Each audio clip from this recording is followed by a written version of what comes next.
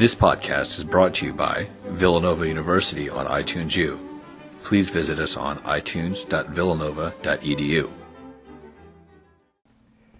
Thanks, uh, well, thanks, Karen, and uh, thanks to Villanova for having me, and thanks to all of you. I think one of the great things about doing these, they, they feel like reunions to me. Uh, it's just a great chance to get together with uh, people that I've known in various capacities over the years. And one of the, the last dedication in the book is to people who fight the good fight on behalf of the working class. And so I count you know, everybody in this room as part of that dedication. So it's, uh, it's just a, a, pleasure to have a chance to talk a little bit about this work that uh, took me about 12 years to do. Uh, those day jobs are killers. Also, I would say don't ever do a dual biography. It just takes too damn long. Uh, but uh, as you'll see, I just had to kind of work my way into having both of these folks uh, in this thing. Hey, Eli. yeah, the, the, the, family contingent has arrived. uh, so um, I'm going to start off with a couple uh, short vignettes that I think provide a window onto the story that I want to tell you. So this first one, um, this is Life magazine from uh, December 12th of 1955. Uh, and I hope there are no archivists in the room because I've handled this so badly. Uh, it, you know, this would be anathema, but this is the issue. And so this is at the, right at the, uh, when the AFL and the CIO merged. And there's a lot of stuff in here about, really the theme of this is kind of uh, labor leaders is what C. Wright Mills, the famed sociologist, called the new men of power. And so you have all these pictures of powerful labor leaders in here. One of the ones that I thought was most interesting, this is a picture of Dave Beck, who was the president of the Teamsters Union at that time. And they show him in his uh, Washington, uh, in fact, I could, I, well, I'll pass this around in a second, uh, in his Washington office, with, with, which they call the Marble Palace or Marble Temple. And he could press a button and the curtain would go back and you could see the US Capitol in the background. But what interested me more about this was less about Beck and these other potentates, but actually a few pages later, there's a little piece here and it says new kinds of unionists, new kind of unionists for labor's new uh, role. So they have a picture here of a guy named Earl Brown, who was a shop steward for Butler Brothers, a warehouse firm in St. Louis, Missouri. And it says here, by day, Earl Brown airs problem with boss.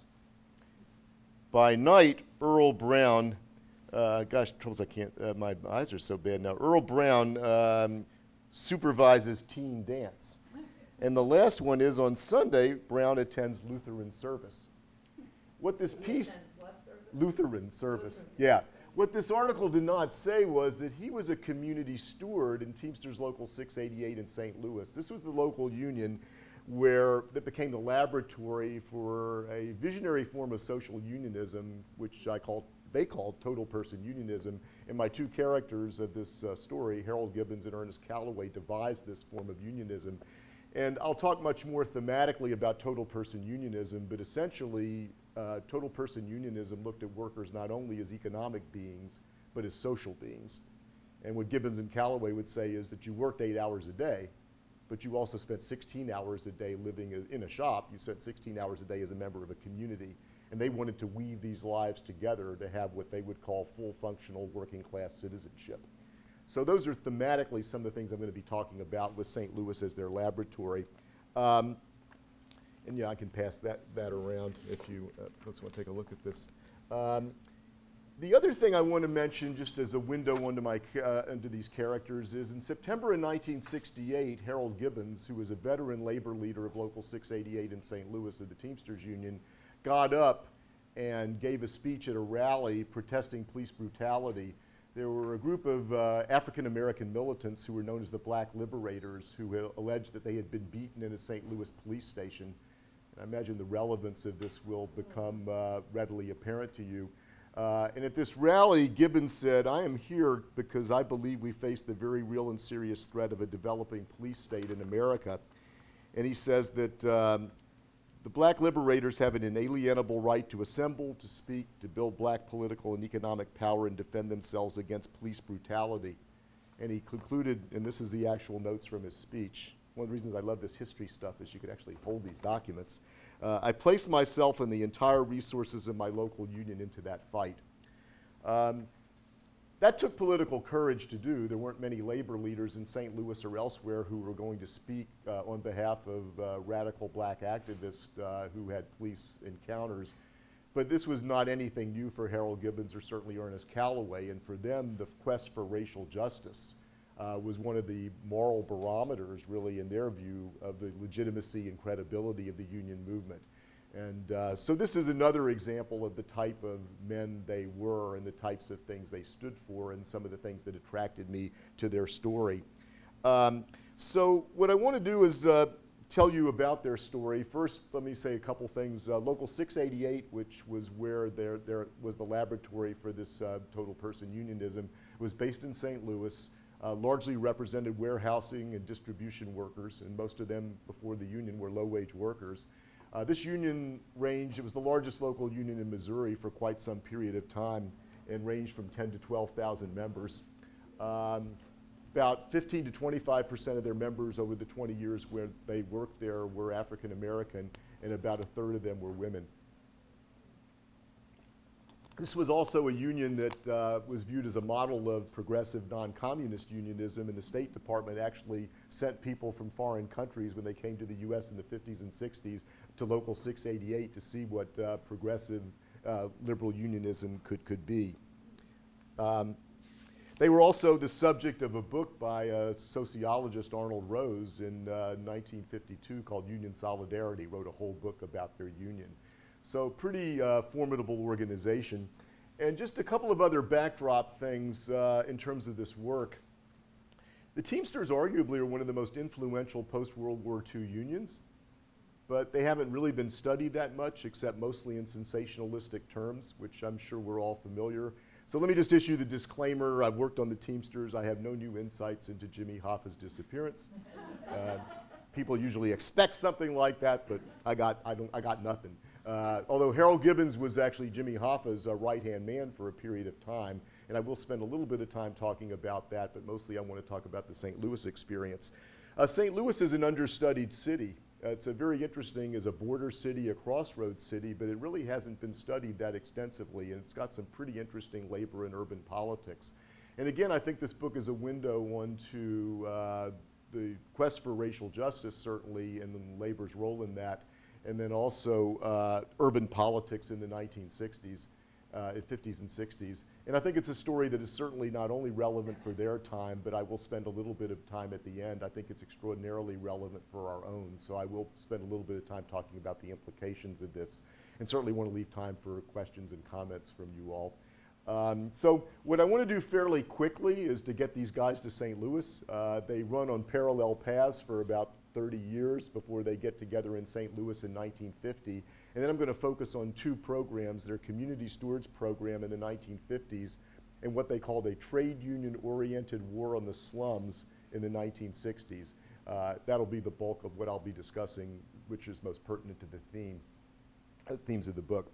So uh, Calloway and Gibbons, uh, Ernest Calloway, Harold Gibbons. Harold Gibbons is white Irish Catholic. Ernest Calloway is African American. They grow up in an early 20th century America that is pretty rigidly segregated, but they actually have an enormous amount in common. Uh, they're born a year apart.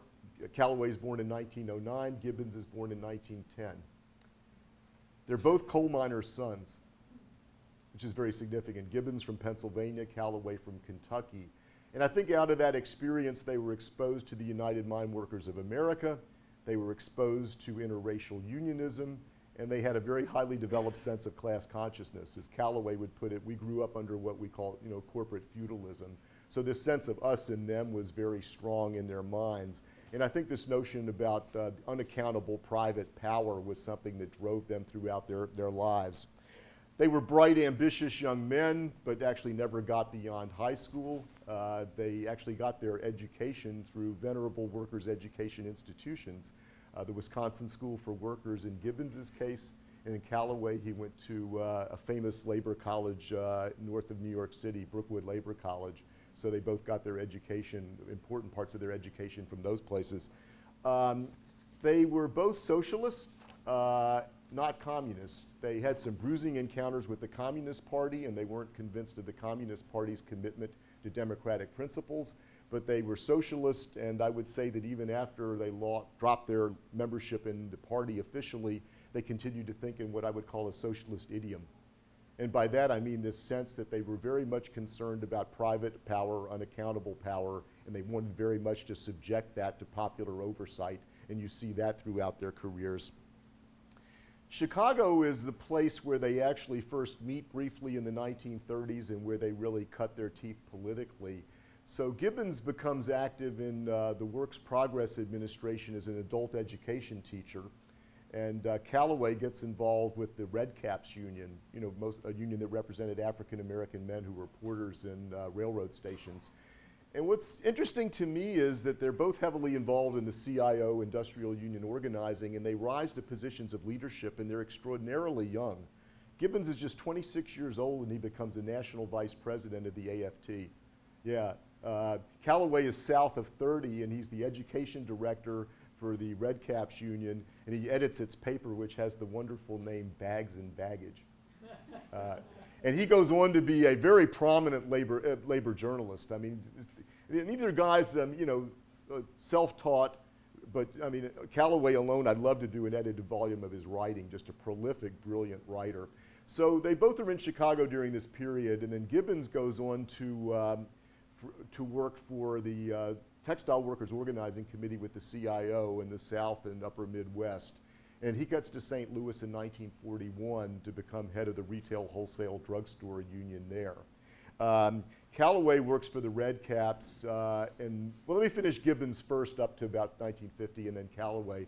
So Gibbons takes over a bunch of locals that are kind of squabbling and don't get along of these low-wage warehouse workers and quickly proves his mettle. He unites them. He's a very aggressive organizer. He loves to strike for first contracts. Uh, you know, he's, he's just a really aggressive guy, uh, very much in, in, in, employers' faces, and really builds a very strong union. Um, but in a very controversial move, his union goes independent late in the 1940s and he merges his CIO union with the American Federation of Labor's Teamsters Union in 1949. And a lot of people just couldn't understand why he would go from the CIO to the Teamsters, which did not have a particularly sterling reputation even then. And there are a lot of complicated reasons why that merger occurred, and I'm glad to get into all of those. But one of the main ones was that Gibbons said they're the most powerful union in America. And he really wanted to use that power both for organizing and for broader social purposes.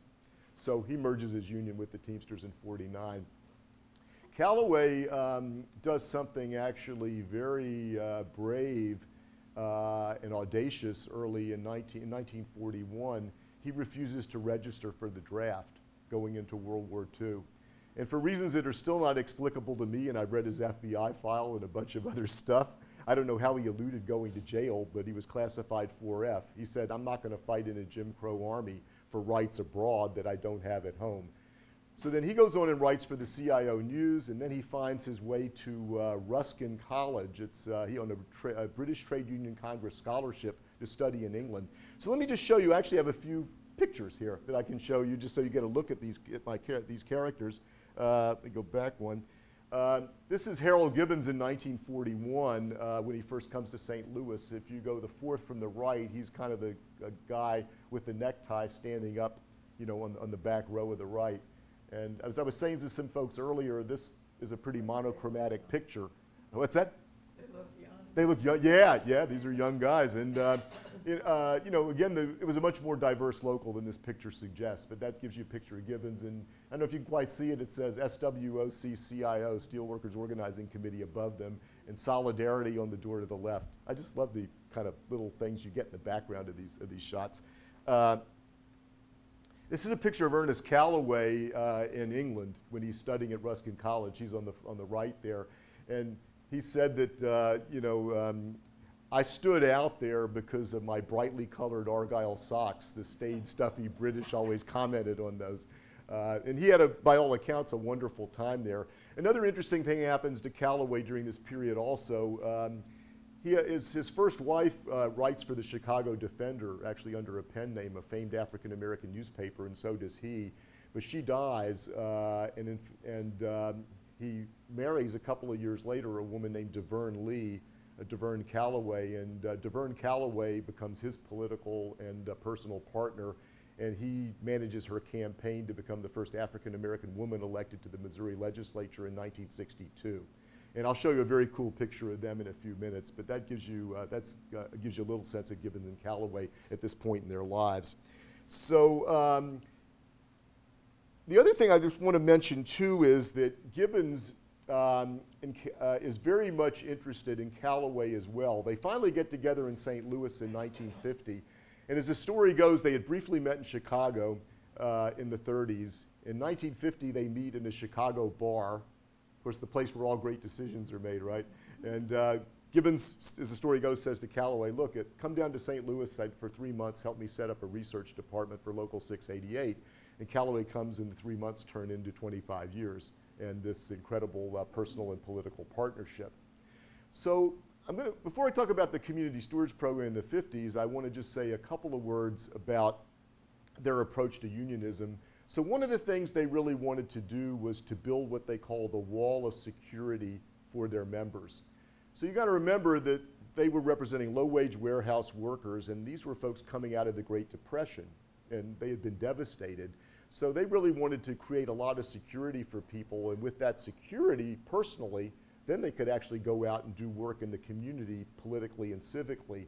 So they created in 1945 a Labor Health Institute where workers get what a concept, fully funded uh, health care for themselves and basically fully funded health care for their families, funded entirely by employers. And the other thing was that the union basically runs this program. You know, they have management folks in, but Gibbons is very much in Calloway about what the working class could do. And I have a really interesting quote about their perspective on that in a second. The other thing was they ran a, uh, they developed a, uh, what they called a health and medical camp in a town about 30 miles outside of St. Louis. They built that in 1960 and I interviewed somebody that knew Harold Gibbons from this period. He said that Gibbons once said to me, you know, that whatever the boss gets, the working class should get. If they're going to have country clubs and that type of recreation and leisure, why shouldn't working people get this? So, uh, and part of this was, as they said, that uh, leisure and recreation enhances the ability to think through social problems as a worker and as a citizen. So they wanted that leisure, that recreation, that time away from the city where people could relax but they really wanted that, again, to be used ultimately for social purposes.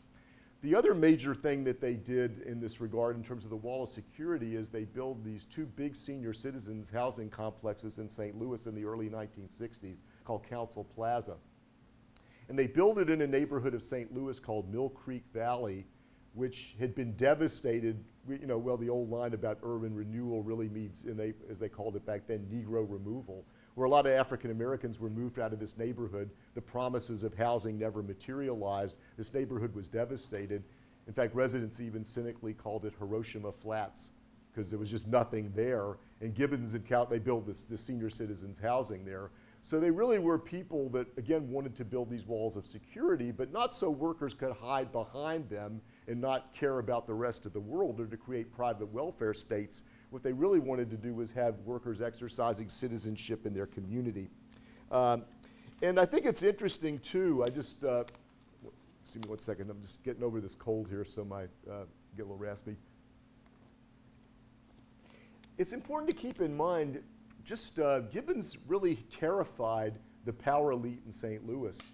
Uh, and there's this great line where Jimmy Hoffa comes together with Gibbons in the early 50s, actually somewhat ironically, there are mob elements that try to move in on Gibbons as locals, and Gibbons looks to the police for help in St. Louis. Well, they don't help him, so he ultimately turns to Hoffa, who gives him some help in terms of the Detroit mob telling the St. Louis mob, keep, it, keep your hands off him. and I can talk a lot more about all of that, too. Uh, I just, let me just say this in terms of the mob stuff. I mean, Gibbons certainly turned the other cheek on a lot of corrupt behavior. There's no question about that. But I've read his FBI files, they're voluminous. And the worst thing that they really can pin on him is, as one of these files put it, what they, Bobby Kennedy, you know, when the corruption hearings go on, that they most disliked about Gibbons was they said that he loved to indulge in wine, women, and song, and do it on the union expense account. so that was about, I mean, the types of stuff that Jimmy Hoffa did, bribes, kickbacks, loans, pension fund chicanery, Gibbons was not about that, sweetheart contracts, none of that stuff. Um, but Hoffa once said to Gibbons, you know, after they'd been in a bargaining session, he goes, you know, he says, Gibbons, he called him Gibbons. He says, Gibbons, you know, there are fellows back in Detroit that don't like me. But these people in St. Louis actually hate you. uh, and what it was, I think they just didn't know. I mean, Hoffa, they got him money and power. Okay, we don't like it, but we understand it. But Gibbons, he wants this power for what? I mean, there's all this social engineering that looks awfully like socialism. And they just weren't sure where he was going to stop, and they had the power to do stuff. So with that, let me just talk a little bit about their, these two community action programs they had in the 50s and 60s. So in the 1950s, um, right after Taft-Hartley is passed, and I think it's, you know, that's the act that gives us right to work, but just as importantly, things that workers used to do collectively, you know, to further their interests, like sympathy strikes and secondary boycotts, those are taken away. And that's how the Teamsters did a lot of their organizing. So they realized, as Calloway said, we're in a different ball game. We don't have the apron strings of government, as Calloway put it from the New Deal days. We're going to have to play politically. We're going to have to be much more active on the community side. Not that they stopped striking or they were any less militant. They negotiated amazing contracts, five-year contracts with all kinds of great stuff. But they wanted to play in the community. So what they said was, you know, look, workers are citizens. And our workers, you know, and, and, and this is the thing, they, they actually, you know, um, Gibbons once said, and I just should read this too, because this gives you a sense of the flavor of what they were doing.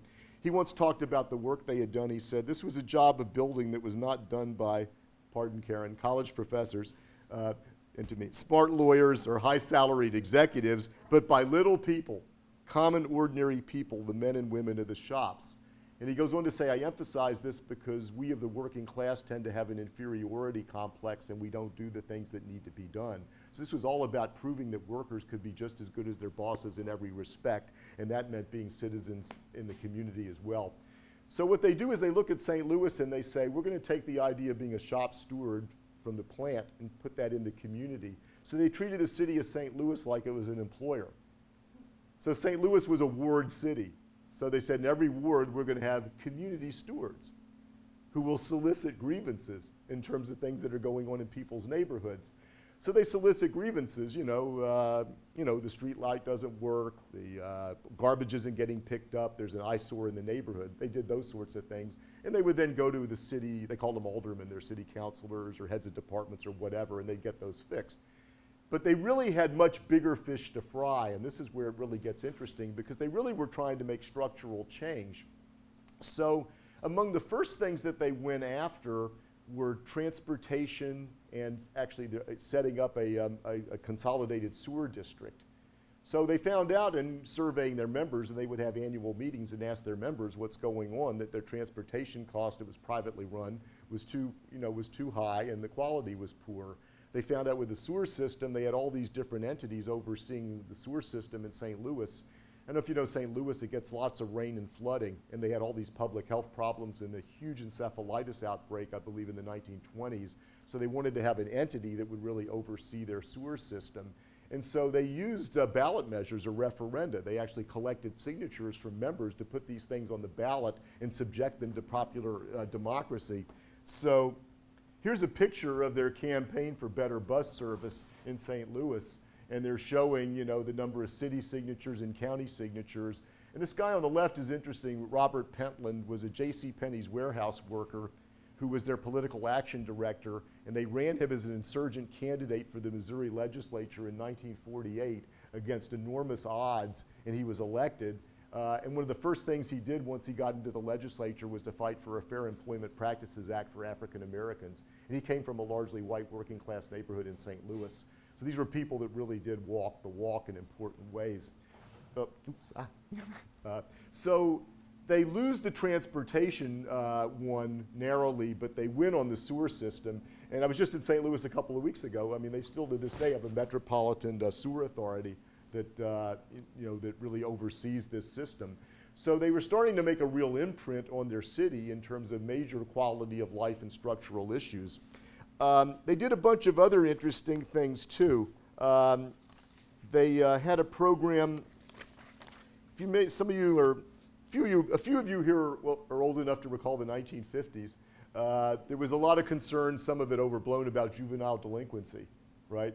So they actually founded programs, they did research and they founded programs. They had something that they called uh, Teamsters Teen Town, where they actually ran dances for teenagers uh, so they'd have a safe environment in which to operate. The thing I really loved about that too was they were going, they, they wanted to create a drag strip where people could drag race safely. Of course, they're taking all the fun out of it, but, uh, but, uh, but you know, that's the type of stuff they did. They did a report that went to a St. Louis grand jury about how to improve conditions for young people. And these were community stewards doing a lot of this work themselves, supported by union staff. They fought for a free city college so that the sons and daughters of the working class would have the same opportunity to go to school as uh, other folks.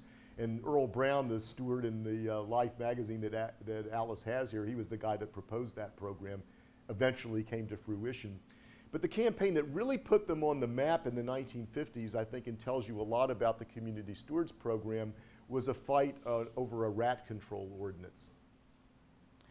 And this had enormous public health implications and also racial and class implications. So St. Louis had a lot of dilapidated housing. Many African Americans move into St. Louis in the 30s and 40s and live in that dilapidated housing, and they're white folks as well. And there's an enormous problem with rats. There's open privies, and the city isn't taking care of it because the city wants to tear all this stuff down and do urban revitalization. So they're saying if we're going to tear all this stuff down, well, and, I, I'm reading the letters, you know, from the landlords and developers who are telling them in the files, you know, don't do this stuff. We don't want to pay the money for this. So the city council passes an ordinance, and behind the scenes, and I was reading the, the, uh, the literature, they're saying we have no intention of obeying this ordinance. uh, so there's a young African American boy named Reginald Harrington, two years old, who in 1955 is severely bitten by rats and almost dies.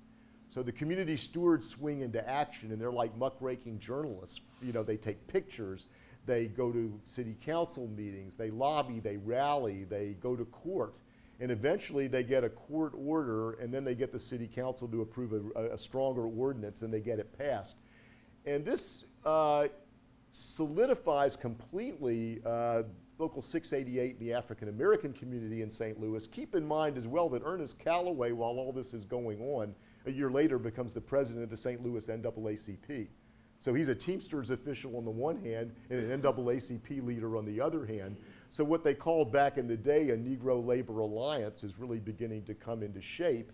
And the idea, as the UAW's regional director said about the RAT campaign, was that people, no matter what area of the city they live in, whether you live in a slum area or an exclusive area, you should still enjoy a certain basic level of security. So this stuff really puts them on the map. And I should also add that they're continually fighting for racial justice. Uh, when Gibbons joins the Teamsters, basically the National Teamsters, he wants to organize taxi drivers who are African American. The National Teamsters say, we don't want them. And Gibbons says, well, I want them and we're going to organize them.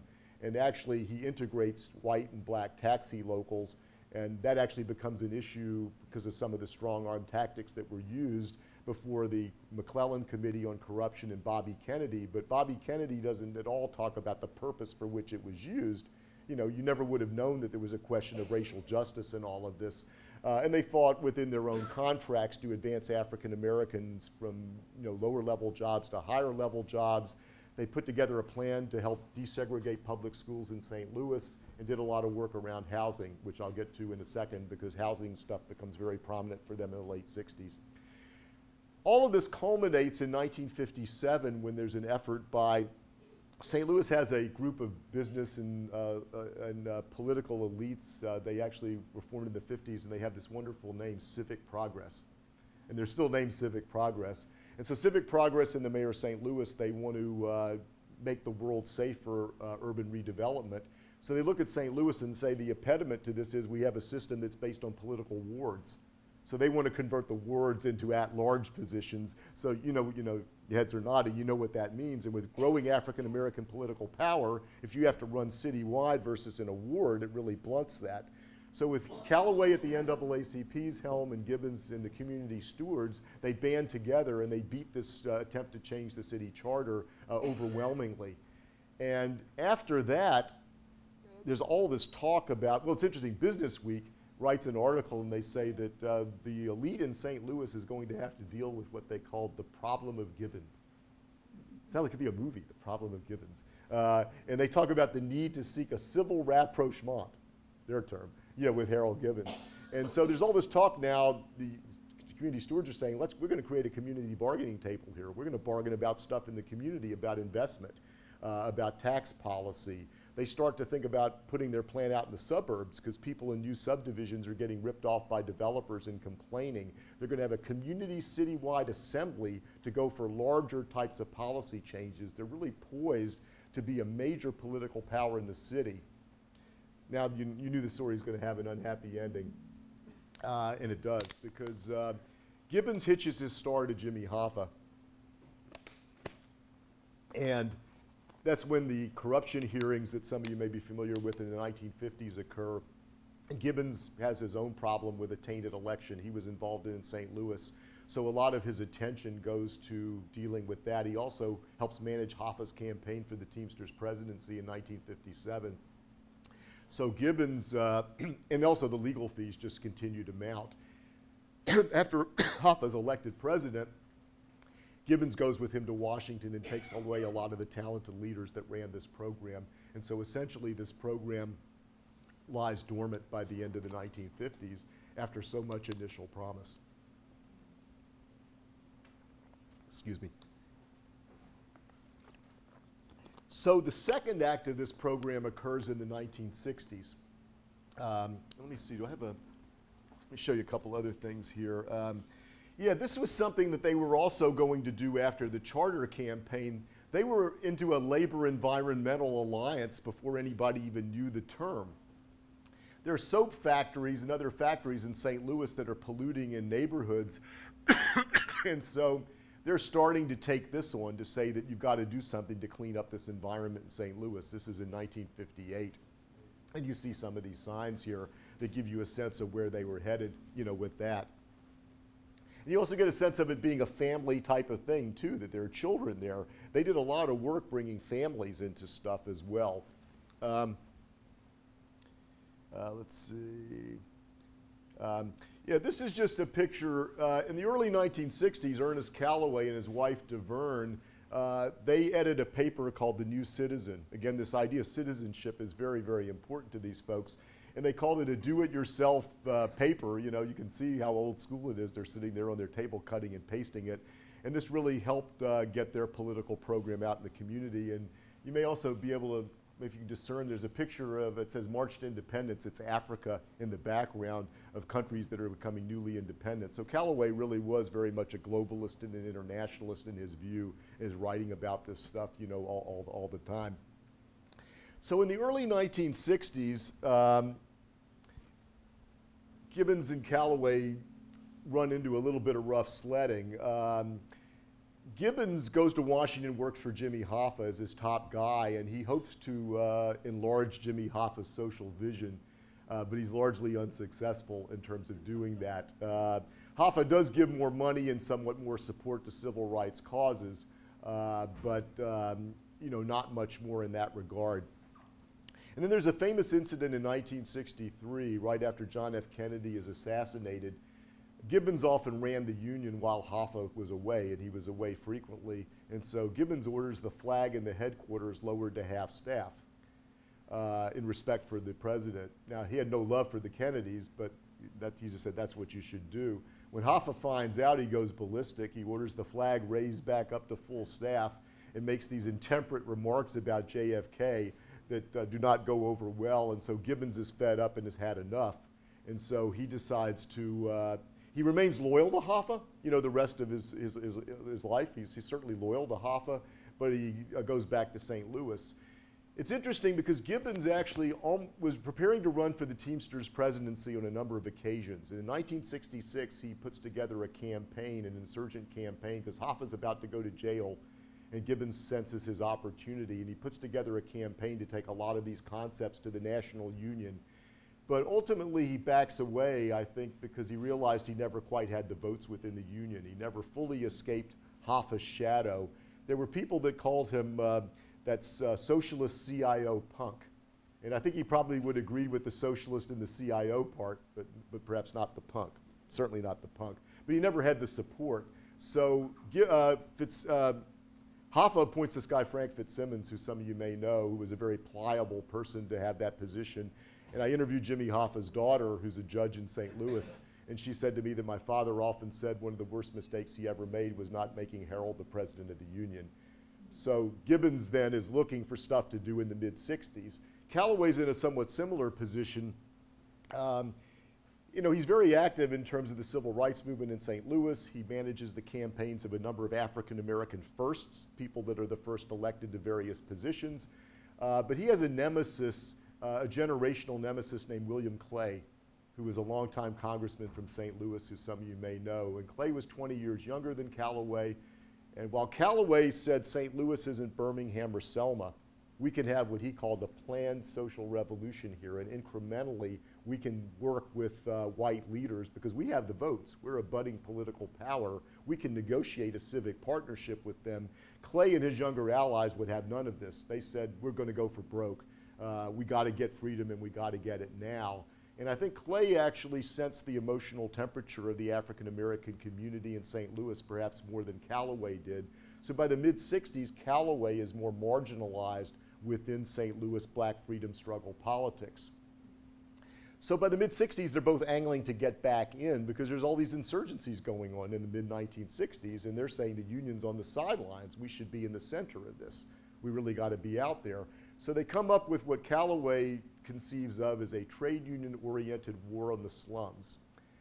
And this is around the war on poverty, which you may recall from the 1960s, Lyndon Johnson's Great Society. And Calloway is at first a supporter of the war on poverty, but ultimately becomes a critic because he thinks that it's basically too much ar around individual uh, change. You know, that there's all this stuff around how to get yourself ready for job interviews and how to make yourself more presentable and to learn skills. And while he doesn't think it's unimportant, Calloway's an unrepentant structuralist. He says you got to deal with structural stuff. You got to deal with jobs. You got to deal with tax policy. You got to deal with land use. You got to deal with bigger things. So there's a neighborhood in St. Louis where Calloway and about 500 other members of Local 688 live who are African Americans called Tandy, T A N D Y. Uh, and in the Tandy neighborhood, it's really the name, Tandy, yeah, for, for us Tastykakes fans, uh, in the Tandy neighborhood, and they put together this community organizing project, and they get this amazing group of people together, including a former a, uh, guy who was a minister who had organized peasants in Bolivia in the early 1960s. He becomes the head of this program, and he says, I'm going to give you a dose of Saul Alinsky. And they get uh, workers from the shop, they pull together this dream team of organizers, and they start to make common cause with African American insurgents in St. Louis. And again, the idea is let's create a community bargaining table and let's use the power and expertise and skill that we have from the shop floor as unionists. We know about power and pressure. Let's use it in the community. So they align with uh, welfare rights recipients in, Saint, in Missouri. they give terrible, you know, the benefits are really, really low. And the welfare recipient group deputizes the Teamsters to be their lead negotiators. I mean, not that they're giving them the whole store, but you guys know how to bargain a contract. You guys know how to use this power, so they're doing that. They're fighting for lower uh, grocery prices in neighborhoods because more affluent neighborhoods get uh, lower prices than the poorer neighborhoods. They fight to get African American police and firefighters hired, African American history taught in the schools. And they get very active around tenants issues. So one of the things that happens in St. Louis that's really interesting for a very brief period in the 19, late 60s, there's a shotgun marriage between the Auto Workers Union and uh, the Teamsters called the Alliance for Labor Action. And it's a complicated story as to why Frank Fitzsimmons uh, would want to have an alliance with Walter Reuther, you know, the head of the UAW, but they both had their reasons. And St. Louis was one of the places where the Teamsters and UAW actually came together and worked because the auto workers looked at Gibbons, he's not like all these other Teamsters, I mean, he's one of us. And so they're fighting around uh, tenants' rights, and they're saying that you know we should get uh, what they call a Wagner Act for tenants. You know, similar to national labor relations law for workers, we should have laws like that for tenants. And if we can fight the boss on the job, you know, we can fight the landlord in the community.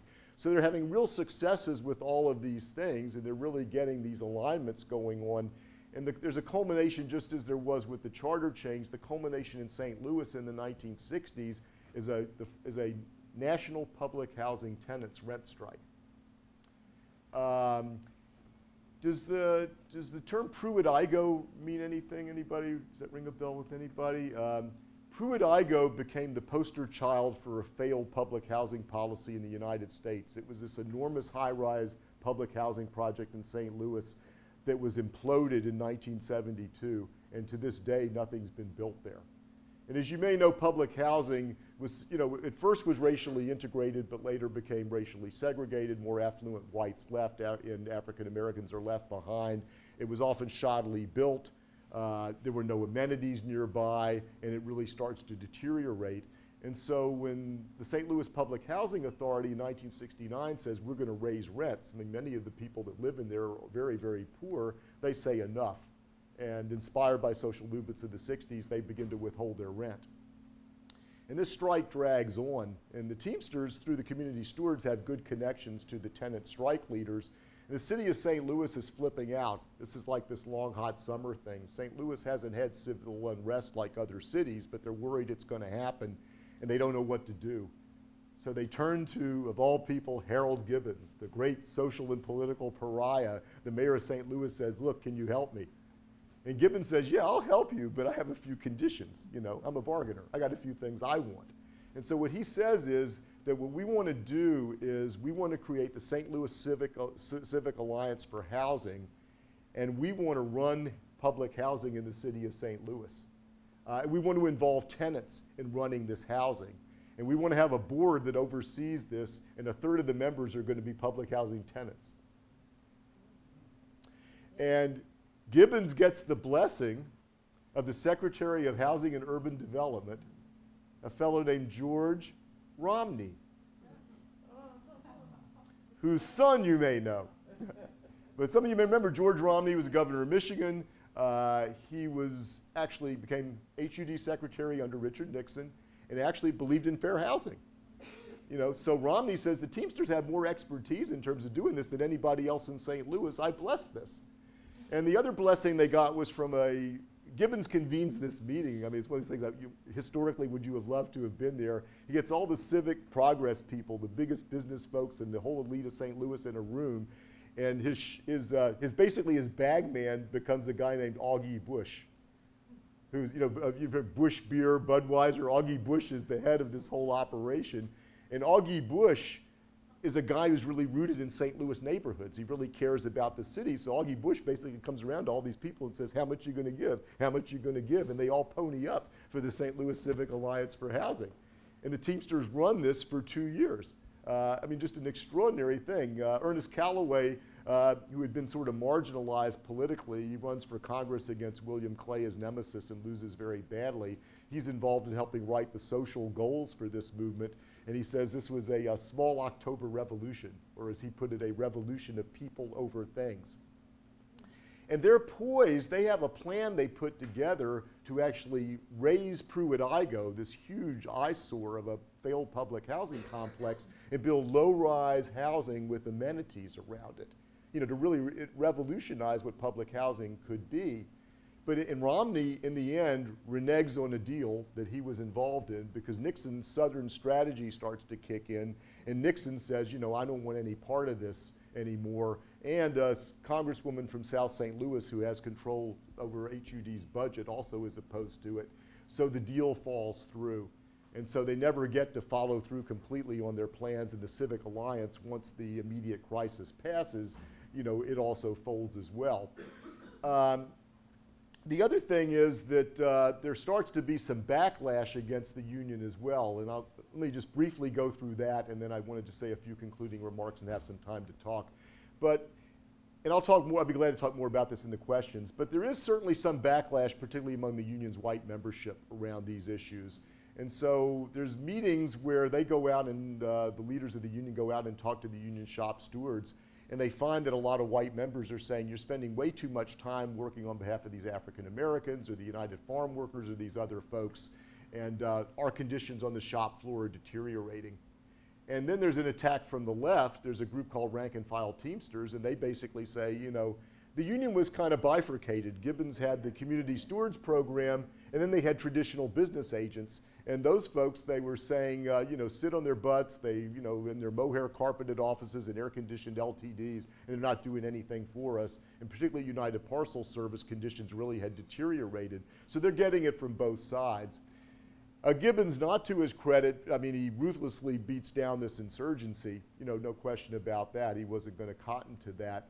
But one of the things he does that's kind of interesting, there are white members of the union that say that we want a Tandy area project in our neighborhood. And they start one actually in South St. Louis, and they start to deal with community issues there. And they start to deal with issues in the suburbs as well. Uh, because in the suburbs, they fight, for example, a jack in the box is coming into a neighborhood and would have uh, really destroyed the character of the neighborhood. They fight to zone it out and succeed, and they get involved in suburban activity. So they do have some other things going on that are pretty interesting. Uh, the other thing that they start to do as well, and there might have been possibly a third act for the Community Stewards Program, they start to take women's issues very seriously, which they had not done before. So they start to talk about child care and abortion rights, and they start to say we need to negotiate for this in our contracts and we need to put it more at the front and center of what we do as a union. So there was potentially some interesting stuff that might have happened in terms of a third act for this program, but that was not to be. So let me wind the story up. Um, Calloway retires and actually goes to uh, teach at St. Louis University. And then when I was in St. Louis two weeks ago, I actually met some of his former students uh, who just testified what a captivating teacher he was. I actually have a syllabus for one of his courses here, and it's amazing, his course on the urban crisis. It's, it's so prophetic. I mean, here's a guy that in 1976 was still writing and is saying we need global unions because these multinational corporations are sweeping the board with us. This is in 76 he was saying this stuff. Um, anyway, so Calloway's at St. Louis University. Gibbons becomes an ardent foe of the Vietnam War. Uh, both he and Calloway, while they were anti-communist, never lost, I think, their socialist distrust for, for you know, capitalist foreign policy and what they might call capitalist wars. And so Gibbons speaks at the first Vietnam War moratorium, the first meeting of uh, Labor for Peace of anti-war unions he convenes in St. Louis in 1972. He goes to Vietnam and meets with prisoners of war and tries to actually bring them home unsuccessfully. At the same time, he's actually friendly with Henry Kissinger, who he knows from having taught at lectured at Harvard. And he's carrying on conversations with Henry Kissinger at the same time he's doing this real badass anti-war stuff. Well, Frank Fitzsimmons, who is the head of the union and now has decided he likes warming the seat and actually wants to hold it in his own right, he's working to broker an endorsement of Richard Nixon in 1972. You know, that the Teamsters would endorse Richard Nixon. There's only one person on the Teamsters executive board in 1972 who votes against the Nixon endorsement. Harold Gibbons. And uh, there's actually a great picture here. Uh, let's see.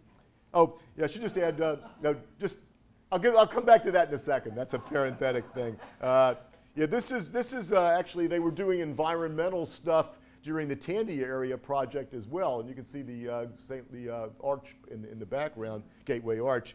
Um, this picture here, um, well, you know this guy here, many of you in the light colored jacket there, Richard Nixon, and there's Harold Gibbons lining up a golf shot. Uh, but for all of Nixon's blandishments, uh, Gibbons resisted them. So Fitzsimmons um, decides he wants to get rid of Gibbons and stages a palace coup and is able to oust him early in uh, 1970. And uh, I mean, actually, 1973, he's able to, to oust him. And so that's pretty much the end of this, uh, these experiments in uh, total person unionism, community bargaining table, working class citizenship. Gibbons uh, lives, uh, dies in early 1982. Uh, and interestingly and poignantly, uh, he had wanted Ernest Calloway to deliver his eulogy. And in his usual non presumptuous manner, he even gave him a title for the eulogy, which was Gibbons, Concerned Citizen. So again, you see the citizen thing. It really meant so much to these folks to be taken seriously as citizens. But tragically, Calloway could not deliver the eulogy. He suffered a stroke that debilitated him, left him unable to speak. So he was unable to, yeah, that, there's the tearjerker part, unable to eulogize his friend. Calloway lives till, uh, dies in uh, 1990. Um, so let me just say a couple of things quickly about implications of this, and then I really would love to, you know, pick up some, you know, pick up, have, have some conversation about this. I mean, if we think about today, I'd say a couple of things are in terms of relevance. One is that I think that Gibbons and Calloway, as far back as the 60s, they were saying we've reached what Calloway called a stagnant plateau in terms of organizing.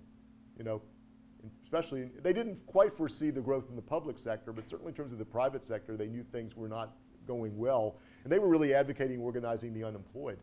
And I think that they would endorse efforts today this, to build a broad working class movement, the things that are going on with car wash workers and day laborers, immigrants, restaurant workers, domestics. They would say we need to do much more of that. And unions who are strong or who have resources should be aiding these types of insurgencies just as they did. I think they would see some fertile ground for total person unionism uh, in several ways. Um, you know, if you think about affordable housing, I don't know how big a problem that is here in Philadelphia. I've been away for 14 years. But I know uh, in Oregon, where I live, and a lot of other parts of the country, I think affordable housing has become such a crisis for folks. And I think it's something that begs for a total person unionism approach and for unions to be involved in addressing it.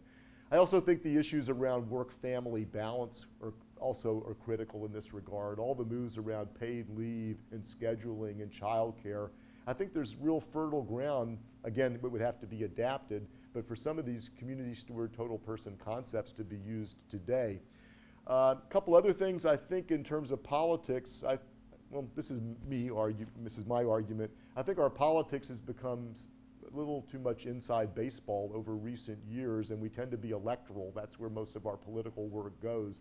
I think they would say, as they did, that politics is much bigger than that. It's about citizenship. It's about civic participation. It's about a lot of other things, trying to get at structural issues that affect the quality of life in a community. And so politics, electoral politics is important, it's necessary, but it's not sufficient, that they would urge us to a more expansive view of politics. I think the fight for racial justice and being forthright in that regard is absolutely critical. I mean, certainly in terms of the issues raised by Black Lives Matter, I think they would have applauded that Richard Trumka, the head of the AFL-CIO, went to Ferguson, went to St. Louis, you know, uh, about a year ago, uh, and spoke forthrightly about racial justice, mass incarceration, the prison industrial complex. But they would probably have say they might have also have said, "Why did it take you so long?" You know, and why aren't more people doing this? They had a type of political courage. They had a type of political courage, I think, that is all too rare and is something that we should also pay attention to. So finally, let me just close with this last uh, paragraph in the book in terms of legacy.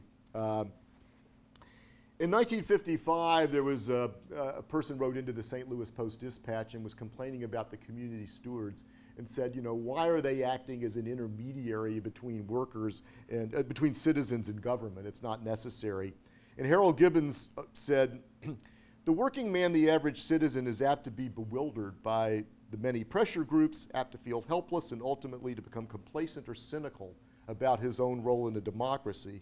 Far from being an inter intermediary, Gibbons asserted, the union's role is to encourage our working members to use their rights as citizens in a democracy. And I think his, uh, this observation assumes special meaning in light of Calloway's prophetic prediction that new economic concentrations of power seriously undermine social and democratic institutions by establishing the supremacy of private decision making. So, in this context, their abiding faith that ordinary people could use their experiences as workers to enhance their roles as citizens offers hope, in Calloway's words, not only for extending democratic unionism, but for reviving democracy itself. Thanks.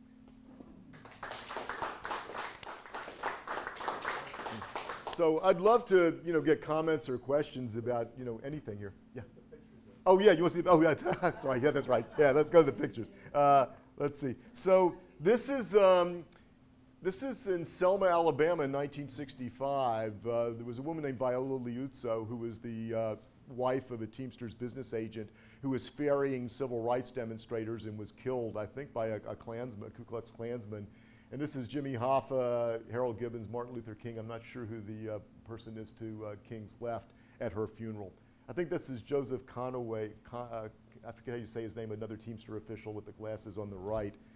Uh, I had to put this one in, uh, and you might go, well, you know, what's this about? Well, you probably recognize maybe some of the younger folks, I don't know. Do you know any of these people? Yeah, I was going to say, yeah, uh, you know, yeah. This is a group that was known as the Rat Pack. Uh, they were these Hollywood entertainers, Frank Sinatra, Dean Martin, Sammy Davis Jr., and uh, Johnny Carson. And Gibbons loved the nightlife. He loved Vegas. I mean, you know, Teamsters had stuff there, but he really liked I think the thing he liked about these guys was that they were kind of outlaws in a way, and Gibbons too had this sense, you know, that uh, they were very cynical about law, cynical about authority, and Sinatra had that kind of in-your-face, you know, fu type of approach, and I think he was very much attracted to that. But this is at a charity show, so Gibbons raised tons of money for charity, but instead of farming the administration of this out to um, outside groups, again to show what the working class could do, he ran his own charity shows and delighted in doing that and raises raised bunches of money. So uh, again, I just you know you just don't see the cigarette and drink anymore. You know, it's uh, in, in any case, yeah, it's just one I had to had to have that one in there. Okay, that's, that's right.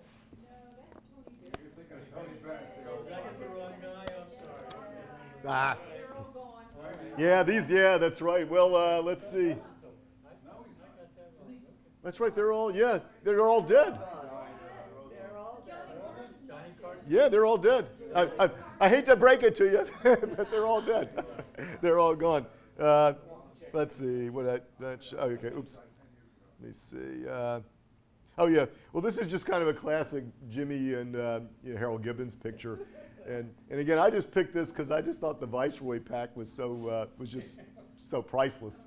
But you get a sense of you know they, a very a very close relationship. And part of this was, I think, he really owed Hoffa in the sense of helping. You know, Gibbons feared for his life when the mob came into St. Louis and you know was in St. Louis and was trying to put people on his payroll. And I think he also they were both coal miners' sons. I mean, I think he had a real understanding of coming up in a very very hard scrabble sort of way. So uh, anyway, so yeah.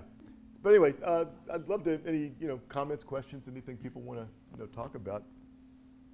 Did he color his eyebrows? Like, look at this cover photo. His eyebrows are so much bushier and arched. yeah. Uh,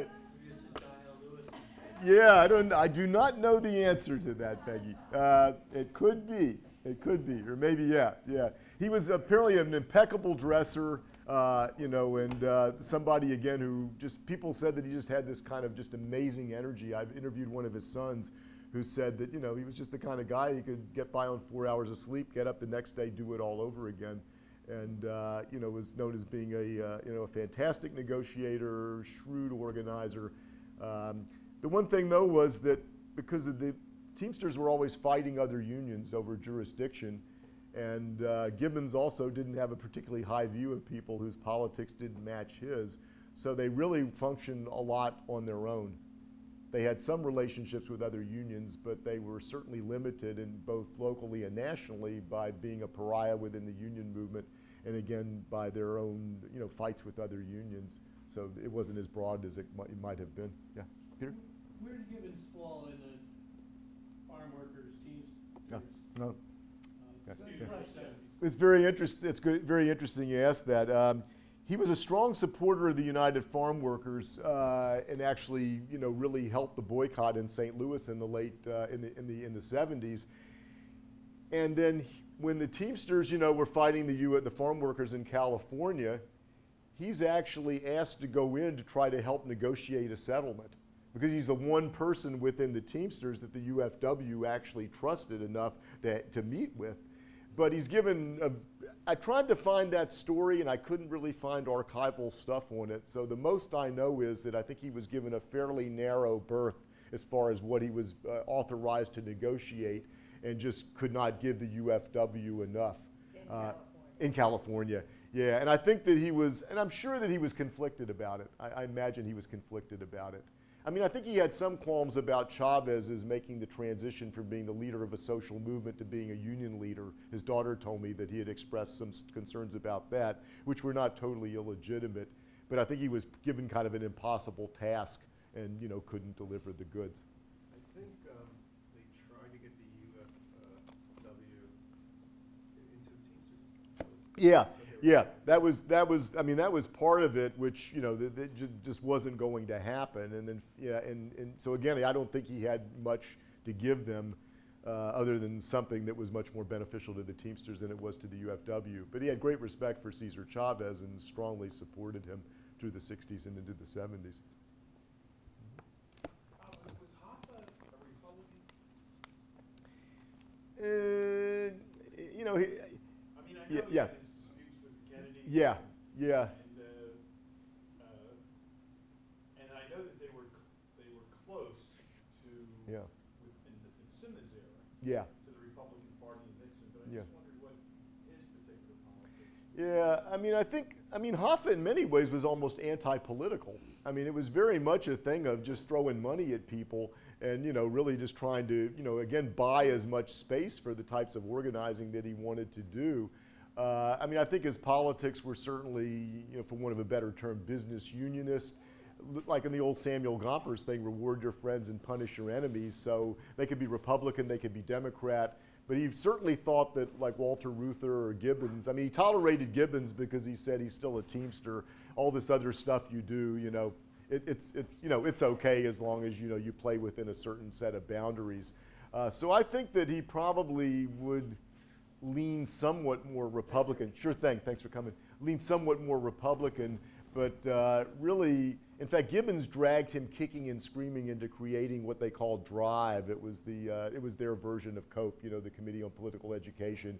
And Hoffa wasn't even that happy with doing that. Gibbons, again, part of trying to enlarge Hoffa's vision was to say that we should really be political, we should mobilize people from the grassroots. But Hoffa actually never gave Gibbons much control in terms of doing that program, which was another part of his discontent with him. There was a, there was a movie many years ago, uh, called Fist. Yeah, yeah, Um, yeah. Remember it well. And uh, Yeah. I thought that the guy, there was a, a character in there who reminded me a little bit of Gibbons, who was like a second in command Mhm. to Hoffa.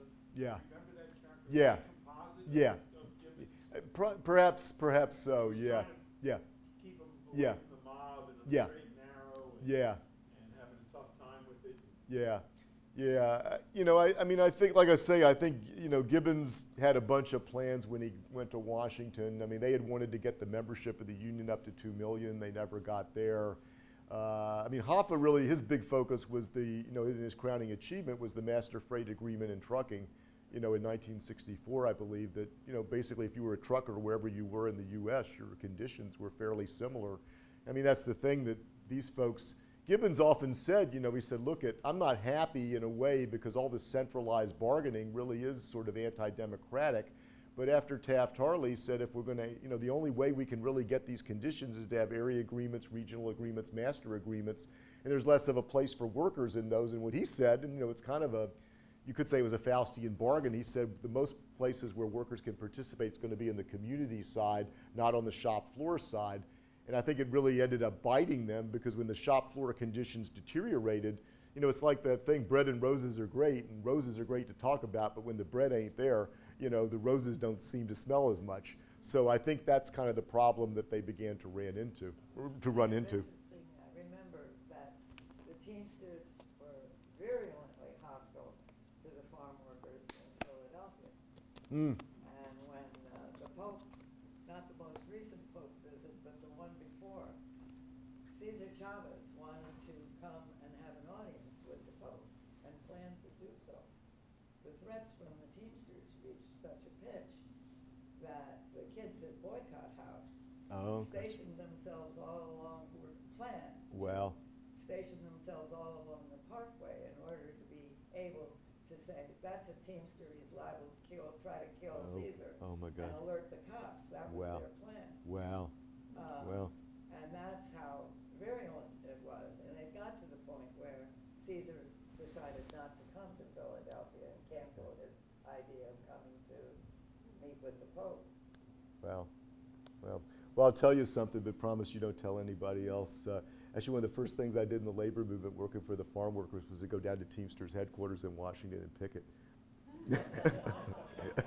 I had no idea what that meant. You know, I was, I was what, 20 years old, you know, it seemed like the right thing to, anyway. it just brings, yeah, it was a very funky time in terms of all of those, you know, relationships and things. Yeah, just one other question. The, the building of this total yeah, person, unionism. yeah. Where did that come from? Mm -hmm mean, was that something that, I mean, it reminds us of a film that we saw last night about Jewish anarchists. and Yeah. How the, the belief in uh, total Mm. unionism in, in Yeah. the sense of, uh, within the anarchist community, that they were just all for one, was social, political, Yeah. educational. Did any of that come from there, or or was, was it, where did it come from? Yeah, I think uh, I think from several sources. I think part of it was just this profound sense of being working class and wanting to show that working class people had potential, they could do things in the world, and that they had grown up in these environments where they were marginalized and discounted. So when they had power, they wanted to say, look at that power you have from the shop floor, things you've learned, you know, you live in this community. Again, as Calloway would say, you're an economic being, but you're a social being, you're a psychological being. You have many other sides of yourself that you should have the opportunity to develop. I think believed in that, you know, that profoundly. And uh, I also think they felt that no matter how good your conditions were in the shop, you know, if you went out into an environment where conditions were not good, the infrastructure was bad, the schools weren't good, all this other stuff, how far had you really moved?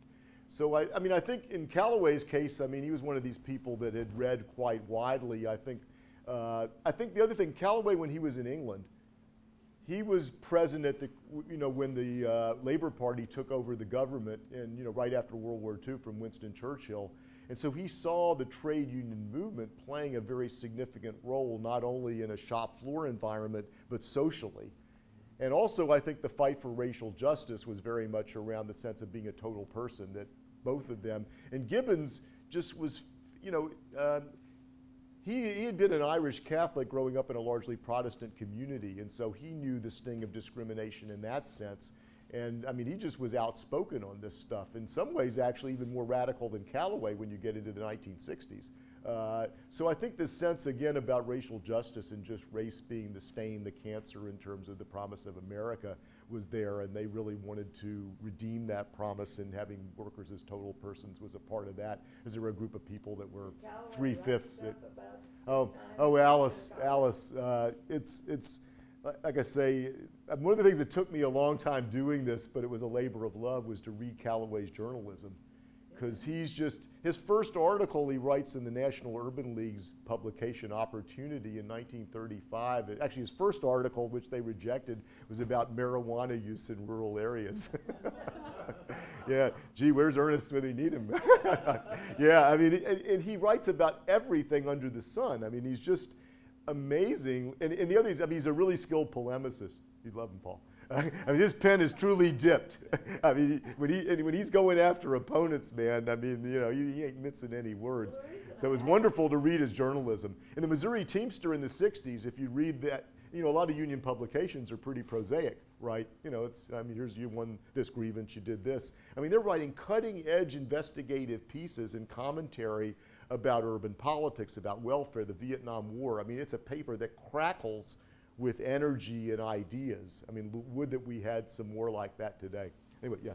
Well, I was Yeah. just gonna say, the reason that I asked about that was because when, the- when Labor took over in England, they were very powerful in the parliament with respect to saying the time has come to r- remove ourselves from being an empire in India. Uh huh. Yeah.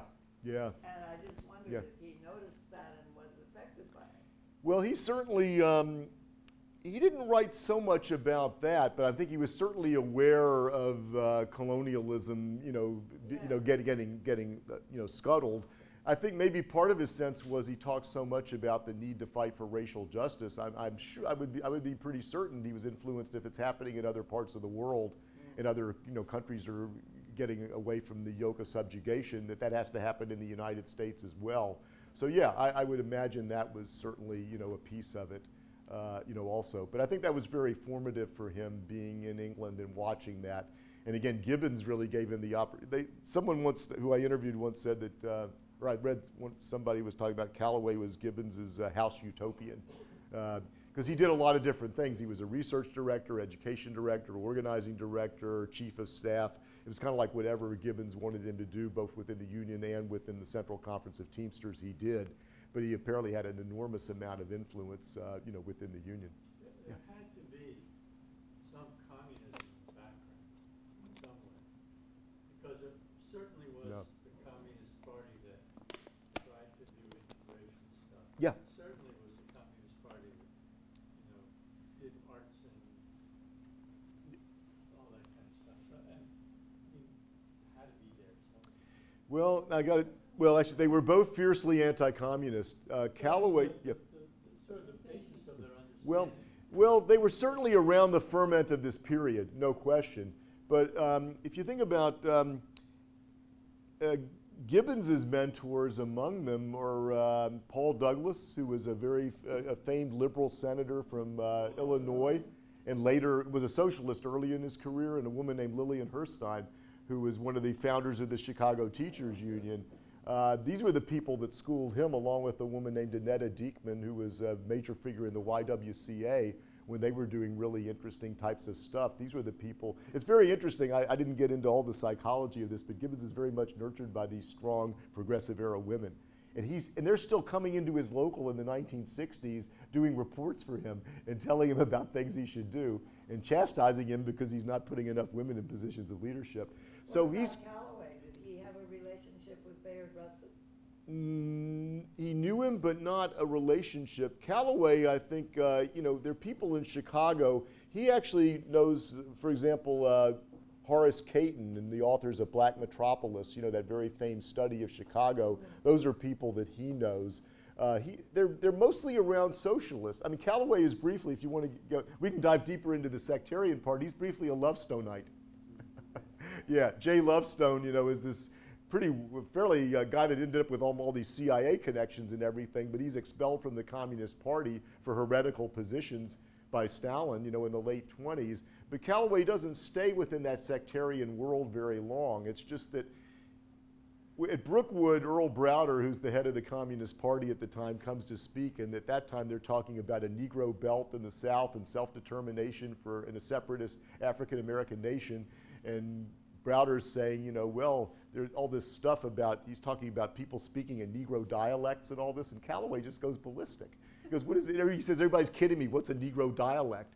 And so Calloway just totally rejects, he also just thinks that the communists really, in, from, in his view, often manipulated the issue of racial justice. I mean, he didn't deny their commitment totally, but for him, he often saw manipulation.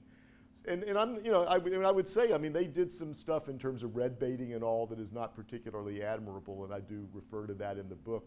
But uh, they were not, they, they really were much more influenced by the Socialist Party. I mean, just to, just to say, although they're certainly in an era where all this other stuff is going on, there's no question of that. There's certainly a, a left milieu, shall we say, that they're, they're involved in. Yeah, Karen. Just made me think of, you know, with all those left roots going way, all the way back to Marx, you know, that filter down in his ideas, but, you know, in the economic and philosophical manuscript, you know, when he talks about alienated labor, and, and, and, and in many other places, you know, he's talking about the total person and being a part of the community and being a creative person, and the worker has to, you know, have all, more opportunities, you know, I, I think it sounds exactly like the total personism. Well, I and, mean, and I don't, yeah, I'm sure they yeah. weren't, you know, members of the Communist Party Yeah. exactly, but those, i- those leftist Marxist ideas, I think, they, seems like they probably heard. I don't think they ever, that's why I say I think they still thought in a socialist idiom, or that, that they, they certainly knew the tune. Maybe the words were not the same, but they, the tune never left their, their heads. And again, you know, there were lots of anti-communist liberals in the labor movement who were down with the Vietnam War. I mean, Walter Reuther, who's the, you know the leading sort of non-communist liberal, I mean, he's supporting the Vietnam War fairly late. He, he breaks much later. Gibbons and Calloway, you can read Calloway in the Missouri Teamster in 1965 denouncing American foreign policy, the CIA, in terms that most communists would have, would have you know, raised their fist. So in foreign policy, they were, you know, very staunchly, I mean, you know, for want of a better term, on the left. They didn't become anti-communist liberals in terms of foreign policy. When President Johnson sends troops into the Dominican Republic, what was it, 1965, Calloway's, you know, writing against that. You know, so, yeah, so they're, so they're, you know, it's one of those deals. Uh, they're they're complicated uh, characters, and you know, oftentimes cross-cutting, or there's ambiguity. There's all that stuff. Uh, it's one of the reasons I think I've chosen to do biographies is that uh, I, I kind of like living in that ambiguity. You know, it's just really it's interesting how people aren't perfectly consistent and aren't consistently good and all those things, and or is uh, you know uh, not a perfect man, not a not perfect men by any means, but left their marks I think in some very important ways. Yeah, Peter. Is there any union now that you see as um, promoting the tow person union. Ah, ah, well, that's, that's at least a 2-0 fastball, maybe a 3. Uh, well, I would say this. Uh, I think SEIU probably comes closest. Uh, although, again, it's interesting because SEIU is, is controversial within the union movement in similar ways to the Teamsters, not about jurisdiction, but there is a broad sense that they tend to do stuff by themselves. You know, I mean, I hear this all the time, you know, just in my own world, maybe some of you do as well. But they they've done these different community organizing things. It's just that the, the, the sobering part of this is that the roots weren't very deep and they didn't survive that long. I mean, I'm touting these things and I think they should be touted, but if the full story is told, five or six years is not a long time. These things are difficult to sustain. But SEIU has done some community efforts across the country, I think, that have some similarities to this. And I would say that they probably have the most potential currently in the union movement to try to do something like this. The other thing I didn't mention is what another manifestation of this, and we see this in Seattle uh, with the teachers uh, union up there, in Chicago, uh, in LA, this notion of bargaining for the common good. You know, there's these ideas, particularly in the public sector, that you should put demands on the table that are not just about you know, your union or, you know, wages, hours, and working conditions. But in Seattle, what was it? They wanted recess, a longer recess period for kids. In Chicago, it was the schools your, you, this, our students deserve. In Fix LA, they actually were saying we need more public employees back on the job because we lost them during the recession. And we want to examine the way the city invests, you know, the interest charges from banks that are ripping us off. And they actually got some commitments there through this Fix LA coalition so I think there is, without trying to be too rose colored about it, there is some of that potential out there. And I guess I would argue that given what's going on, why not? I mean, why shouldn't we try to do some experimentation? Because I think there's just rich potential there. Because I think most people do know that something's pretty radically wrong about our lives. I mean, just in terms of income and wealth inequality and deteriorating conditions. And the union movement, particularly the public sector, I think still has, well, uh, we'll see after the Friedrichs decision, but they still have some resources left to do some of these things. I think teachers' unions in particular are really beginning to pay more attention to this among others. So I, I think that there are some unions out there that are doing versions of this. Uh, and that's where I think the adaptation comes in because you know, the soil was different in 1950 and 60 than it is today. The plant can't just be taken, you know, willy-nilly and grow, but I think with some, the right I'll push the analogy a little further. With the right fertilizer, I think it could, it could work. Yeah. Yeah. Two questions. Sure. What's the SEIU? Oh, I'm sorry. The Service Employees International Union. So they're Is that like uh, well, a kind of a cousin. They have a lot of public sector workers, home care and child care workers. They represent a lot of them. They have state employees in, in, in Oregon where I live. Uh, well, the state social service workers here, hospitals. Yeah, health. They have a huge healthcare division. Yeah, they're what they're what 1.8 million now or something. Goes up to two. It's up to two. Yeah, yeah, yeah. So they yeah they've been a very uh, you know influential union. Yeah. They don't have to You know, count Bob, those Second question What's that? As you, as you talk, it reminds me of when we both worked with the steelworkers at Penn State. And we had, they came for four weeks. First week was supposed to be you and your union. The second week was supposed to be you and your community. Yeah, The yeah, third week was yeah. supposed to be you in the, in Mm. politics. Yeah. Fourth week was supposed to be some kind of culture thing we were doing Yeah. with them. yeah, But what hits me Yeah. is that as I'm listening to you talk, w- we, we did that. Yeah. But I, for one, Yeah. didn't see it as an effort to make it be a, a, a kind of a whole person sort of, Yeah. uh, uh, of a program. Yeah, yeah. I mean, you know, we, we, we did it kind of reflexively without thinking about it. Well, see, that's what I think. To me, what amazed me about these guys was just. And I, let me just say this, and I'm going to get to your second question real quick. But just to say that that they were so thoughtful. I mean, you just sit there and read how they thought about this. I mean, they really were sitting down and saying, "Here's the situation we're facing. What can we do strategically to address it?" And, and that's why I, I- I say in the beginning, you know, I mean, Walter Reuther, and I take nothing away from him, was kind of the paragon of sort of, you know, liberal unionism in the post-war period, but I'd put them right up there on a smaller scale. I think what they were doing was as visionary and maybe even more thoughtful and deeper than some of the stuff that Reuther came up with. So, you know, just to say. But you had a second question. Yeah. yeah. Why, did they, why did they not want the, far, the farm workers union to join, with, join them? Was it a power thing? Or? Well, the... Uh, Yeah, well, I think, but, but I think the terms that they wanted were ones that the farm workers, at least the, not the national Teamsters, wanted to absorb them, take their independence away, make them kind of a division of the union. And they were still very much a social movement, I think, and uh, one that you know really insisted. They wanted farm workers, as much as you know this, this idea that farm workers should shape their own destiny, and they were worried that they would be swallowed up by a union that really had a very different orientation from theirs. I think. Yeah, aspect of yeah. the, uh, Yeah, farm work? that's where their roots were. Yeah, So there was a dispute Yeah. between the farm, the people who picked the crops and the people who were canning, you know, I mean, yeah, yeah.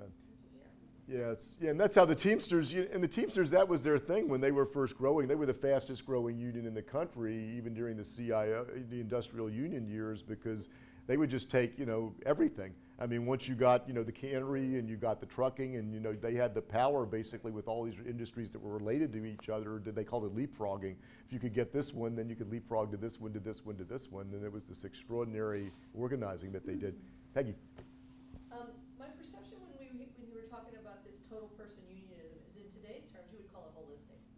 You know, like, I think that would be a really Mm-hmm. good way for them to, cause it, he was such a renaissance man, they both were, like, that, that they were interested in so many things, and that interest in so many things helped them to be so inclusive. Mm-hmm. You know, Yeah. and like you said, it was kind of an intuitive thing, so for these guys, it must have just been intuitive. Yeah. But as a, as a union member, I teach at, uh, Springford High School, um, right up the road here, and, um, I see a lot of pushback in our community, Mhm. and I don't understand it, like, even from my own, like, people that I hang out with, um, they are resentful of me. Because I have, How could anybody be resentful of you? because I have union benefits, and I. Oh, oh, oh, oh, I see. Yeah, yeah, yeah, yeah, Like yeah, they all, yeah, like, and yeah. I keep saying, well then why don't you get a union where you work? Yeah. I keep trying to Yeah, tell them. yeah, You know, like, and I Yeah. don't understand why Yeah. we're, and I have to say one other thing, this is what I was telling my friend, I was trying to get so many, um, people to join me. The one thing that I saw that was so amazing with Bob is his ability to, um, reduce conflict or mediate conflict. One time when we were at Penn State, this one, um, business professor was trying to like nail him to the wall. I just- He was trying to get you to really, you know, just, he was insightful, you know, he's trying to really incite you. And you, you- just pulled him aside, put your arm around him and said, uh, I don't think here's a good place to talk, why don't we go have a beer and talk? You know, that's perfect, that's Well- mediation one one. well, thank you, Peggy. Uh, I'm, sometimes I can pull that off. I was really impressed, But, I uh, pulled that yeah, now, you know, uh, like people start, like, if students Yeah. will start to, you know, Uh, I'll say, okay, here's not the time, Yeah. let's go, let's talk about this afterwards. Yeah, but you don't invite him out for a beer. No, Okay. I give him five.